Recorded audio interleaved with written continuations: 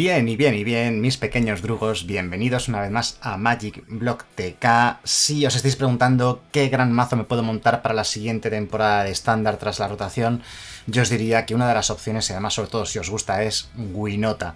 Ya sea Winota en versión Boros, roja-blanca, que es la que os voy a traer hoy, o la Winota tricolor, eh, Mardu, roja, blanca, negra, que también es la otra, la otra opción posible. Yo sinceramente, tal como están las cosas, como no sabemos qué tierras van a reeditar para el año que viene, creo que lo más adecuado, lo más correcto sería la versión Boros, la versión roja-blanca. Es decir, eh, cuando rote estándar perderemos las tierras eh, dobles Shocklands, las que tenemos actualmente, que son la mejor opción para este mazo, y por tanto em, la versión tricolor se va a hacer muy, muy inestable, a falta de lo que salga con Zendikar Racing, ¿vale? O sea que a lo mejor salen otra vez tierras dobles o lo que sea en Zendikar Racing y, y el mazo se puede montar tricolor sin problemas. Pero a día de hoy la cosa está un poco en el aire, ¿no? Entonces no lo sabemos con certeza. Eh, fijaos, el mazo Boros Winota realmente es bastante parecido al que podemos jugar actualmente en el estándar normal. Hoy vamos a hacer un vídeo de estándar 2021, que es este formato que se han inventado para el veranito, eh, para el mes de agosto, septiembre, antes de la salida de la próxima colección en Magic Arena, en el cual solamente podemos jugar con las colecciones que no van a rotar en septiembre, es decir, con lo que será el futuro estándar a falta de la salida de Zendikar Rising. Vuelvo a repetir. Entonces muchas de las cartas ya son conocidas por nosotros y ya sabemos lo que hace lo que hace Winota, pues una carta muy poderosa, ¿no? Que, que ya, que ya ha sufrido su prohibición en Historic, en estándar sigue siendo muy buena, muy poderosa. Y quién sabe si a lo mejor algún día acaban prohibiendo esta carta. La verdad es que es muy buena, ¿no? Eh, de momento no la han prohibido. De momento es, es. Mira, como además salta ahí en la pantalla, ¿no? Que estáis leyendo que pone que es que es ilegal en histórico, en histórico tradicional, que es al mejor de tres partidas. O sea, es lo mismo histórico. Cuando dicen histórico a secas se refiere al mejor de una partida, best of one. Y histórico tradicional se refiere al mejor de tres partidas, best of three con banquillo y eso. Y también está prohibida en Brawl. Entonces, la siguiente prohibición sería para estándar y no lo descartéis. Es posible, sobre todo dependiendo de lo que salga en Zendikar en, un mes. En un mes sale Zendikar y, lo podremos ver. El mazo eh, es una combinación entre criaturas humanas y criaturas no humanas, ¿no? Porque Winota dispara su habilidad cuando ataca con criaturas que no son humanos. Entonces por eso llamamos criaturas que no son humanos como Salvador Altruista, que además hace indestructible si lo sacrificas a una criatura objetivo, el Bruto de Jengibre, que se puede hacer imbloqueable, e incluso te puede dar tres vidillas si hace falta, y la Serpiente Reptaroca, que yo diría que es eh, la mejor carta del mazo sin contar a Winota, y ahora os comentaré un poco el porqué, ¿no? Entonces, como veis, criaturas que ninguna de ellas es humano, y que por tanto harían saltar la habilidad de la pila de, de Winota. ¿Qué humanos hay muy poderosos en estándar actualmente? Pues, pues eh, en el futuro estándar, mejor dicho. Tenemos por un lado el Teniente de Basri, que es una buena opción em, tanto agresivamente como defensivamente hablando, porque las criaturas con contador más uno más uno cuando mueran van a dejar un token 2-2 con vigilancia, lo cual está genial. El especialista en perros alpino, que busca perros, busca dos perros, de hecho es un 3x1 esta carta. Yo juego una carta y tengo una carta en mesa y otras dos en mi mano, es un 3x1. Por 2 es un 2-2 sin más, es humano, pero ya digo, 3x1 es algo muy, muy valioso. Y luego el otro humano que llevamos es el príncipe encantador, que a ver, lo puedes utilizar para meter y sacar alguna criatura, pues tipo por ejemplo el teniente de Basri, o simplemente pues para adivinar dos o para ganar tres vidas si hace falta, pero es el otro humano decente que ¿no? Eh, no he comentado los perros que llevamos, que son el perro callejero ígneo y el perro guardián alpino, dos copias de cada uno para básicamente eh, la habilidad del especialista en perros alpino, porque tampoco son buenas cartas, se llevan pues porque hace falta y además no son humanos, lógicamente, son perros, ¿no? Entonces también disparan la habilidad de Winota, es un poco eso. Y diréis, ah, pues el mazo parece un poco endeble si te fijas únicamente en Winota y en los humanos que hay, y en los perrillos y el salvador altruista, y la serpiente retarca parece que es un mazo un poco flojo. Pero tiene filo ascua. Entonces, si no ganas con Gunota, ganas con Filosca. Filosca es una, un arma muy peligrosa. Es una carta, de hecho, de hecho, de las que no han sido prohibidas en estándar, digamos que es la más poderosa que ha quedado, ¿no?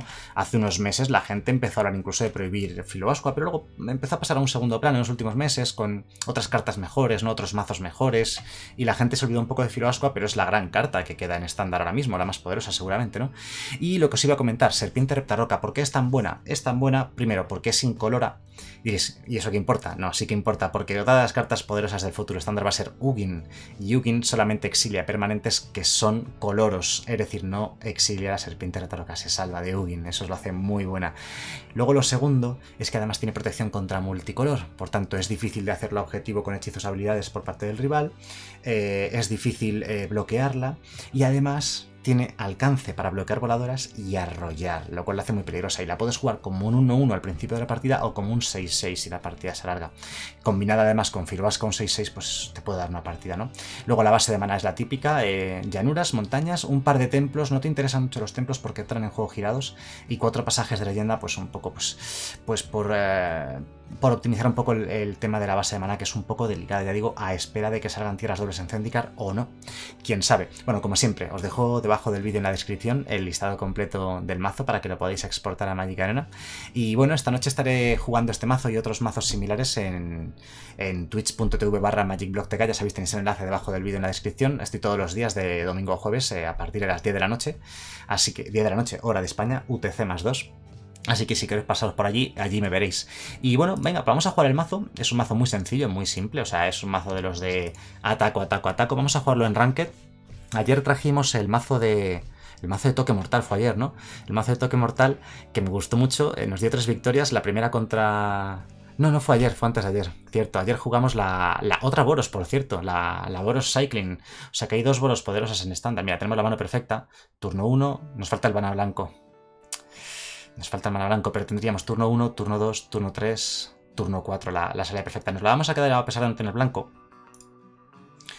Y haremos turno 2, turno 3, turno 4, que tampoco está mal, ¿no? Este es humano, pero este es no humano, así que bueno, una cosa por otra. Y además, vete a saber, a lo mejor robamos...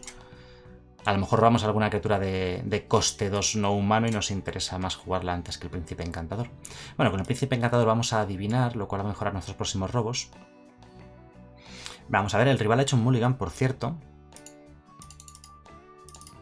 Vale, venga, salimos con esto, buscamos el mana blanco que lo necesitamos para más adelante y me va a fastidiar, pero no jugamos el salvador altruista. Otra opción sería hacer estos dos bichos en el segundo turno, también podríamos hacer eso. Los dos como 1-1 y apostar todo a la guinota. Lo que pasa es que la guinota eh, no es tan poderosa en este mazo por una simple razón. Y es que los humanos que te van a salir del top no son muy grandes ni muy poderosos. El más poderoso es el, teniente de Basri, ya ves tú, que no, no es una gran cosa, ¿no? Te digo, el doble drop dispararía dos veces la guinota. Quizás merece la pena. Verde. Venga, vamos a hacerlo, ¿por qué no? Probemos suerte.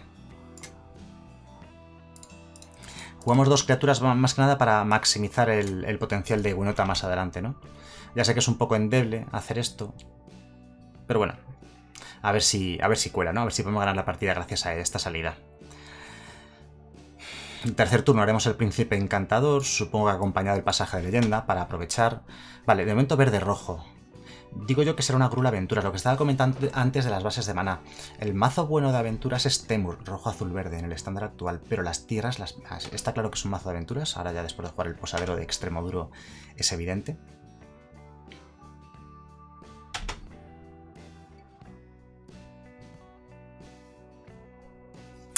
Pues obviamente vamos a jugar el perro, no vamos a atacar.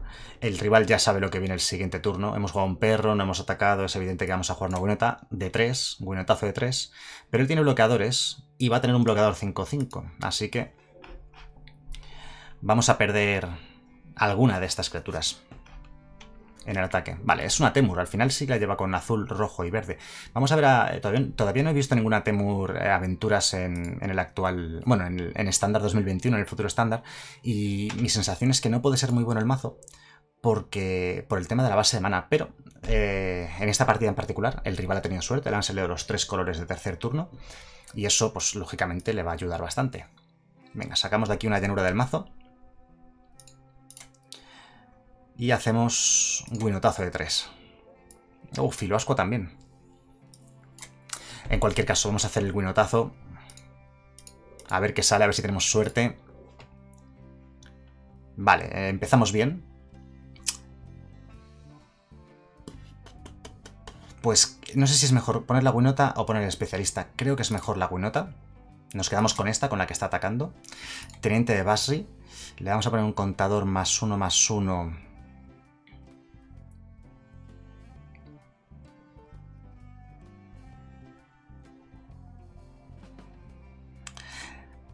Pues no lo veo tan claro. Este es indestructible, por cierto. Se lo vamos a poner... Al Salvador altruista. Uh, y otro teniente de Barry. No está mal, hemos robado bastante, bastante bien. Venga, pues vamos a poner en juego. Y le vamos a poner el contador más uno más uno. Pues al perro callejero ignio, de tal manera que si muere cualquiera de estas criaturas, dejan igualmente un token 2-2. Token 2-2 que por cierto es caballero, pero no humano. Así que el siguiente turno, casi pase lo que pase, nos ha salido bastante bien esta partida, la verdad. Vale, bloquea con esos dos al perro, lo voy a dejar morir. Y deja un token 2-2 caballero que no es humano. De hecho, voy a dejar morir. O sea, no, voy a sacrificar el perro para salvar a este otro perro. O sea, que se muera todo el mundo y ya está. Me vale. Le entran, le entran un montón de daño, de hecho. Le matamos los dos pequeñines, queda únicamente la 5-5, le quedan 9 de vida y nosotros tenemos, fíjate, fiesta de la espuma. Es que con dos tenientes de Barry la habilidad salta dos veces y deja cuatro caballeros.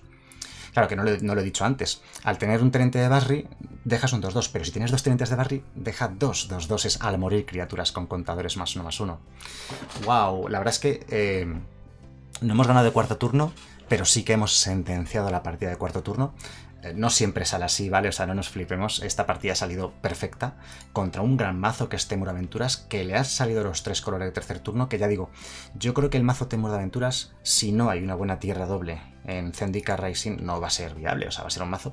Es que es un mazo que depende un poco de una estabilidad de maná, de poder jugar sus hechizos. El mazo es buenísimo, es seguramente el mejor mazo de estándar actual, o de los mejores, de los tres mejores mazos, y seguramente sea el mejor mazo del futuro estándar si no fuese por el tema de las, del maná. Así que habrá que esperar.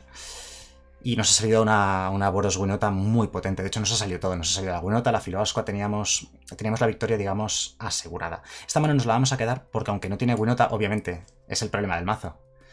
Nos enfrentamos a un Lurrus. El problema del mazo es que no vas a tener siempre esa Winota en la mano, ¿vale? Como es el caso. Entonces, ¿cómo ganas? Tu única otra alternativa es jugar bichines y Filoasqua. La ventaja de cartas del especialista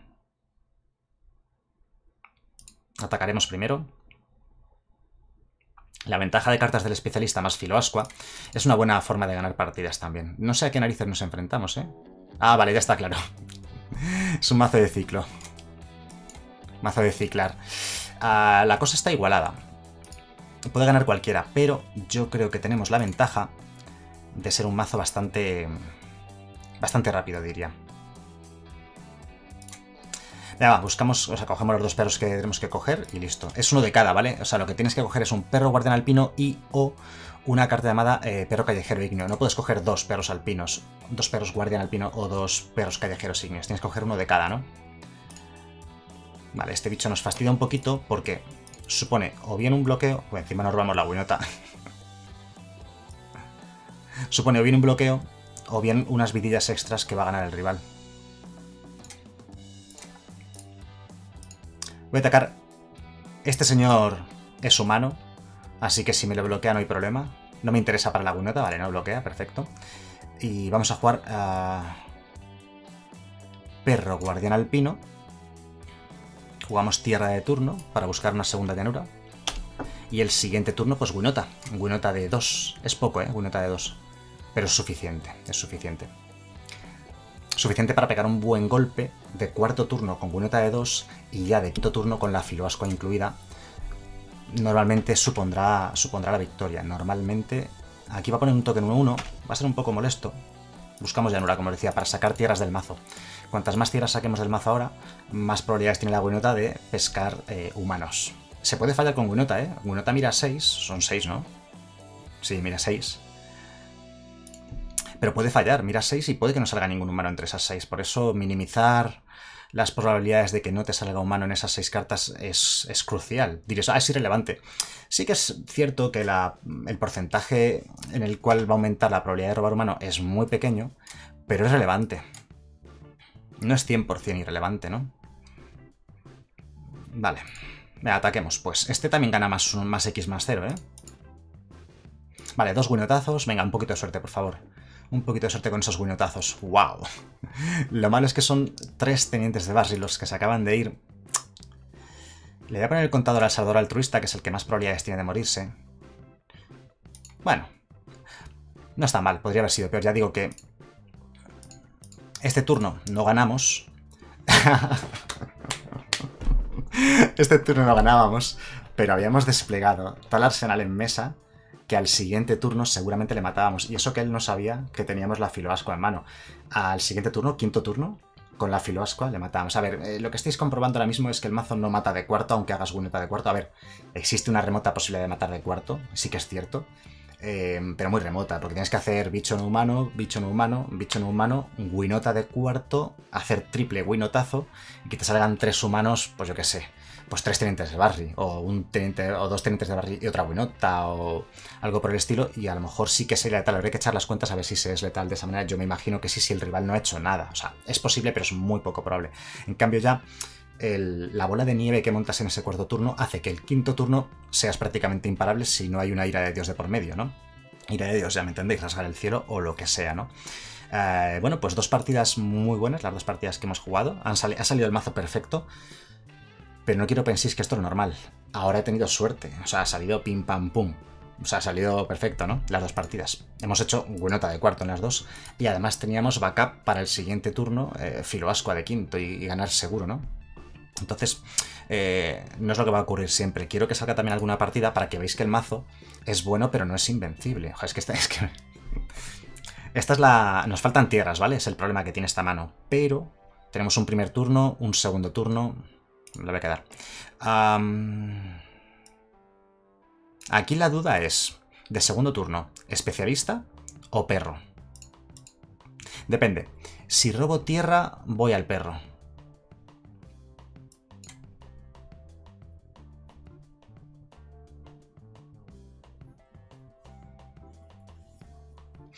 O el príncipe encantador para hacer adivinar.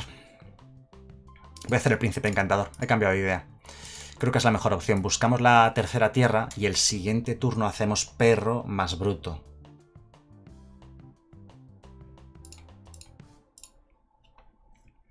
Buf.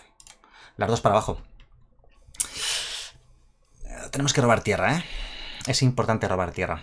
A ver, ¿qué juega el rival? ¿Una mono azul? ¿Puede ser una mono blue devotion o algo así? Porque jugar dos islas los dos primeros turnos huele a mono blue devotion. Además las lleva en plan bonitas, ¿no? Las Nixlands estas. Nixland ya huele a agua. Este es, lo tiene bonito el mazo, por tanto es algo elegante, algo especial, algo único, ¿no? Una, una Mono Blue Devotion. No me extrañaría que fuese ese el caso. Ahí está. Ya está claro que es una Mono Blue Devotion. Venga, tierra, tierra, tierra. Si robamos dos tierras seguidas, la partida está ganada. Mono Blue Devotion porque el oráculo tasa se potencia de esa manera precisamente. A ver, voy a atacar y él va a bloquear 100% seguro. Aquí el problema es que a partir del siguiente turno es posible que empecemos a encontrarnos con counters. Entonces tengo que jugar con mucha cautela esa winota. Voy a jugar el especialista en perros alpino. ¿Por qué? Porque además sacamos dos perros del mazo. Ah, no, dos perros, no, solo uno, ahora que me doy cuenta. Pues ya teníamos los otros dos perros guardianes alpinos en mano. Así que le estamos dando información al rival de que al menos uno de estos tendríamos en mano seguro. A ver, tercera isla.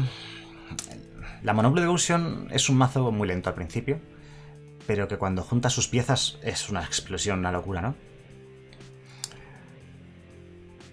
Aquí lo de antes que os decía, he sacado una carta... Oh, un Barring. ¿Qué nos subirá? El especialista en perros alpino. Vale. ¿Qué le vamos a hacer? Joder, mala suerte. Mala suerte, las tierras. Vamos a hacer otra vez adivinar. Venga, pero ¿qué pasa aquí con las tierras? El super está roto. Vale, pues esta partida no estamos teniendo tanta suerte, ¿eh? Bueno, a ver, todavía si robamos dos tierras seguidas se puede hacer algo. Vale, él ya tiene... Ya tiene una devoción gigantesca. Tiene 4 y 2, 6 y 2, 8 de devoción. Y ahí viene la tasa. Eh, una tierra. Qué lástima que entra girada. Pero nos vale.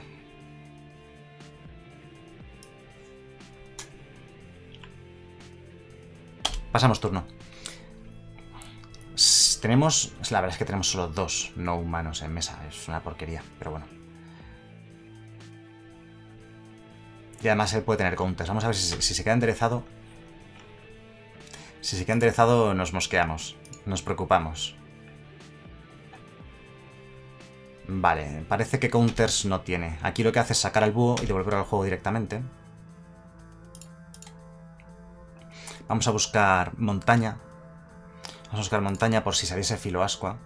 Poder jugarla. Si hubiese sacado el Barring nos fastidiaría un poquito más. Oh, pues salió la tierra. ¿Qué hacemos? ¿Nos la jugamos?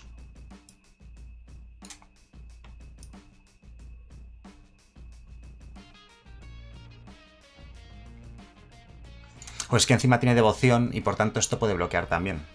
O sea, si ataco con los. Si ataque con lo que ataque, se va a morir, ¿vale?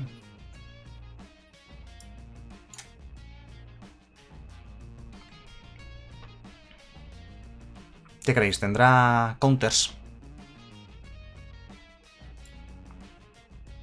Me la voy a jugar a que no tiene counters, así que voy a hacer eh, doble hechizo no humano y el siguiente turno hacemos la buenota.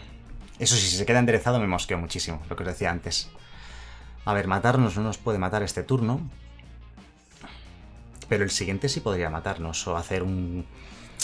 Pues aquí porque nos hemos quedado atascados dos turnos, si no estábamos otra vez en la misma de antes. Yo creo que aún así estamos teniendo suerte, que está saliendo todo a la perfección, digamos.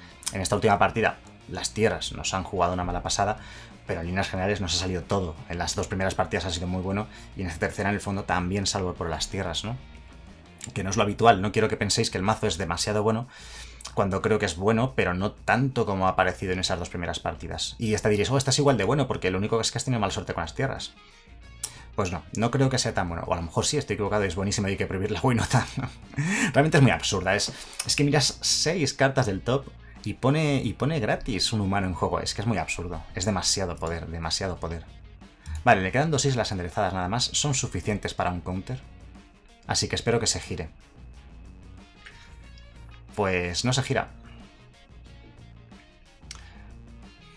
Huele a counter a kilómetros, ¿verdad?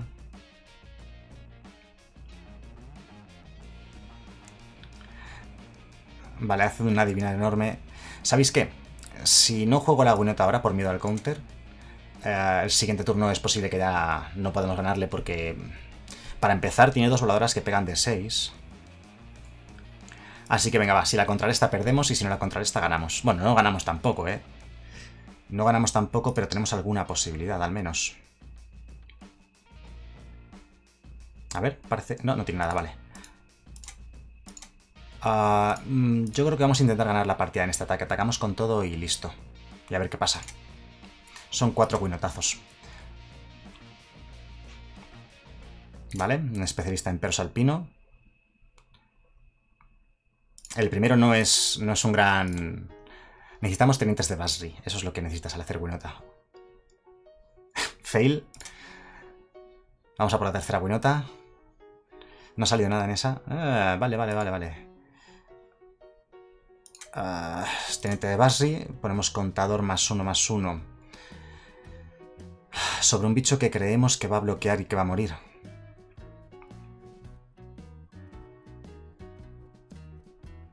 Vamos a poner sobre un perro guardián alpino, que además como no se gira... Venga, otro teniente de Basri. No, príncipe encantador y especial. Podemos hacer príncipe encantador y hacer el adivinar.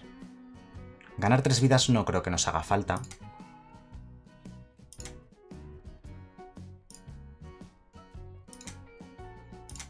Vamos a hacer el adivinar en busca de una filoascua. Por si no gana él en este turno, ganamos nosotros al siguiente con filoascua. Uh, precisamente. Precisamente ahí está. Pues la dejamos arriba. Y el perro lo tiramos para abajo porque no, nos hace falta para nada. Bueno, vamos a ver. A ver, él, aquí no pierde. Nosotros a la vuelta creo que tampoco. Y, y todo va a depender de lo que pase en el siguiente turno. Vale. Hace un doble block aquí un poco absurdo, ¿no? A este perro. No, tiene sentido ese doble block.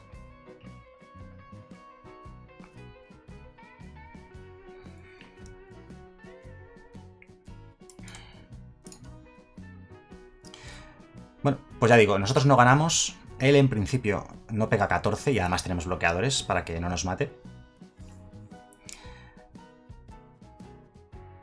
Pero nosotros sí que ganamos al siguiente turno porque le quedan 6 de vida nada más. Le quedan 6 de vida. Con lo que tenemos en mesa ganamos seguro. Porque Winota algo acertará. Hay algunos no humanos. Hay... Bueno, no hay muchos, ¿eh? Hay uno, dos... Tenemos dos no humanos nada más. Bueno, un entazo de 2 debería ser suficiente para quitar estas 6 últimas vidas que le quedan con todo lo demás que tenemos en mesa. Tiene solo 4 bloqueadores. Y luego además que tenemos la filoasco al siguiente turno. Si no tiene counter y la filoasco entra, Lo que me temo también...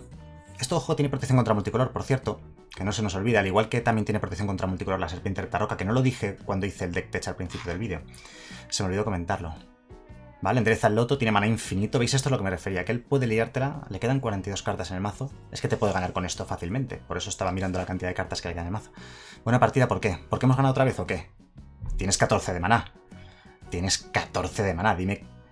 A ver, solo con tasa nos puede girar eh, tres bichos. Nos puede girar los, los no humanos, por ejemplo.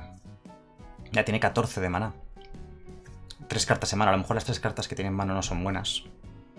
Pero con tasa nos puede girar los no humanos, por ejemplo. Gatwick. Vale, roba seis cartas. En cuanto robe otro vigilante de pasillos, ya vuelve a sacar maná. Vale. Se puede subir a sí mismo el vigilante de pasillos y rejugarlo justo, lado del maná justo, exacto.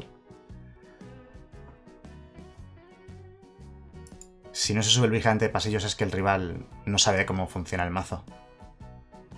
Le quedan dos de maná. Ah, vale. Sí que se lo ha subido. Así que entra ya en un círculo vicioso de sacar maná. Eh, con el vigilante de pasillos endereza el loto, 18 de maná. O sea que nos ha ganado. Pero vamos a dejarle ganar. Gana con un oráculo de tasa. Tiene 18 de devoción ahora mismo. Y 18 de maná y mil millones de cartas en mano. Se va a robar el mazo con otro Catwick. Prácticamente el mazo entero. Y si no es con el Gatwick, es con el augurio, de, el augurio del mar. Me ha gustado que nos haya ganado también esta partida, porque así hemos visto lo interesante que es la Monoblue Devotion. No creo que sea para nada competitiva, o sea, nos ha ganado, tiene mucha suerte realmente. Eh, esta es la partida en la que nos hemos quedado atascados varios turnos, ¿no? En dos tierras. Nos ha ganado porque nos hemos quedado muy atascados mucho tiempo. Y, y eso, claro, lógicamente. Pero aún así es un mazo muy bonito y muy elegante, y lo que me da pena de la Monoblue Devotion es que no sea un mazo competitivo. Es una pena porque los hechizos buenos, por ejemplo, cuádruple azul para un 3-3 vuela. De hecho es bueno que sea cuádruple azul, pero ya me entendéis, que decir, son 4 de mana. La carta es muy buena porque miras cuántas son, eran 4 cartas del top, pones un artefacto o encantamiento en mano, pero es lento, es lento, es lento. Es lento y no tiene defensas, es el, el problema del mazo. A ver, sería muy raro que él se quedase aquí bloqueado. Sería muy raro. Lo normal es que nos gane ahora. Lo normal pero podría ocurrir que se queda o bien sin vigilante de pasillos o bien sin Gatwick en lo que ha robado y, no, y se queda con 10 en el pool que no puede usar para nada. Puede ocurrir. Ladronzuelo a una criatura mía. Eso pinta raro. ¿Qué nos ha subido? No me he enterado. ¿Se ha quedado sin fuelle? Es raro que se quede sin fuelle porque ha robado muchas, muchas cartas. O sea, yo no he concedido por eso, porque existe la remota posibilidad de que él se quede sin fuelle sin, Sí, se ha quedado sin fuelle, qué raro. Entonces, hemos ganado, porque no tiene mana. Hacemos filoascua al bicho que más pegue, que no bloquee, y ya está. Posiblemente al perro callejero... No, al perro... Bueno, depende de cómo bloquee él. Lo digo el perro callejero porque se dopa y con filoascua pues pega bastante.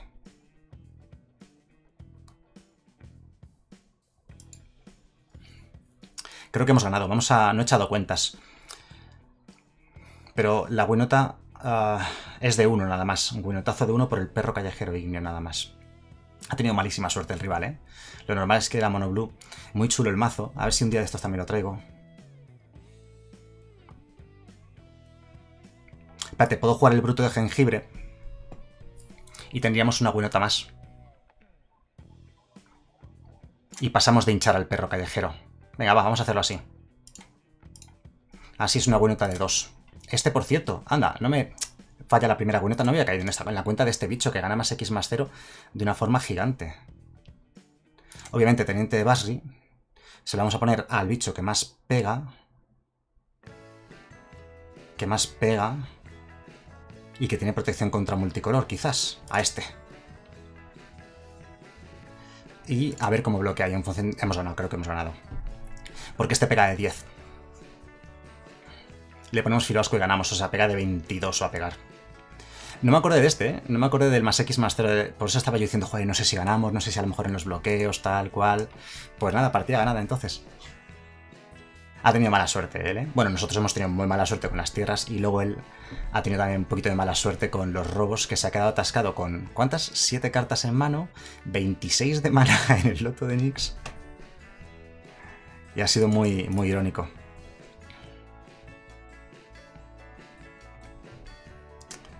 Si hubiésemos jugado esto antes, él te habría concedido, supongo. Pero bueno, me he querido esperar a, que él bloquease para jugar mi Filobascua sobre el mejor postor. Él sabe lo que viene, lo intuirá, supongo.